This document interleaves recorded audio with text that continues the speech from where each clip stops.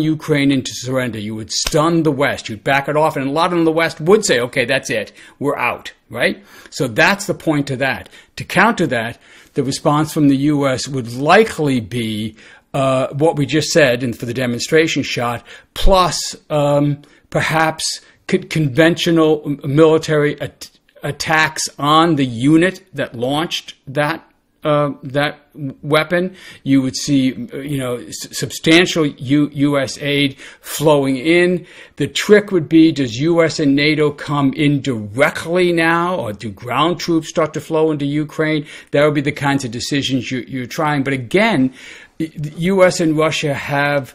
Uh, sufficient conventional forces, precise, um, accurate uh, conventional forces that they could devastate any targets they chose. They wouldn't have to go nuclear.